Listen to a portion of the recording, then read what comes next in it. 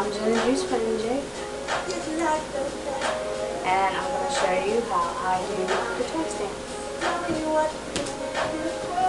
Hard lunge Shift your weight into your knee area, like you're going like this.